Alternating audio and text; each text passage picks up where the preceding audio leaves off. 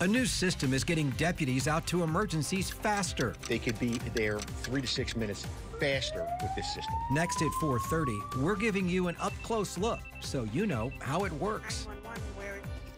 Volusia County Deputy Patrol cars are now equipped with a live 911 system. Sheriff Mike Chitwood says this new technology allows them to listen to calls as they're coming into 911 operators. Good afternoon, I'm Greg Warmoth. I'm Darlene Jones. That cuts down on their response time, according to the sheriff. Channel 9 Volusia County reporter Demi Johnson took a look at the system.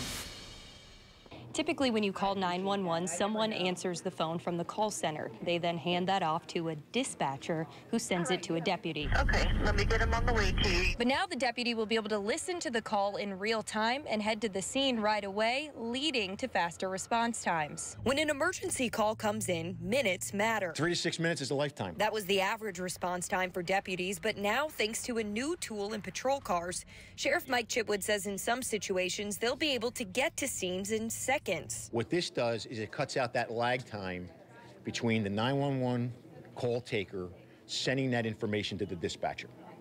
So it gives the ability to the deputy in the field to actually hear the actual call taker in live time calling out where and what the emergency is. We rode along with the deputy to learn how the new system called Live 911 works.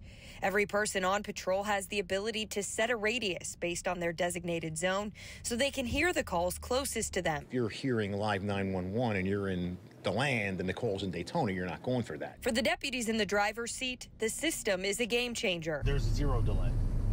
Um, you instantly hear the 911 call and you can instantly head that way. Sheriff Chitwood says it also provides a level of security for deputies because it almost guarantees they won't be going in alone. You're going to get multiple resources going into a crime in progress. Reporting in Volusia County, Demi Johnson, Channel 9 Eyewitness News.